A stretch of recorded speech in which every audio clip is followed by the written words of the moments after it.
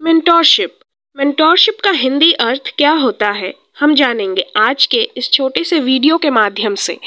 Mentorship का हिंदी अर्थ होता है मेंटोरशिप गुरु शिष्य परंपरा अथवा मार्गदर्शन।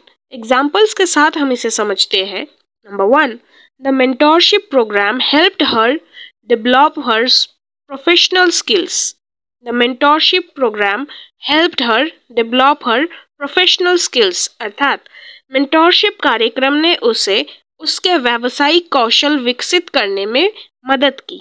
Number two he credits his success to the mentorship he received from his teacher he credits his success to the mentorship he received from his teacher अर्थात वो अपनी सफलता का श्रेय अपने शिक्षक से प्राप्त मेंटोरशिप को देता है।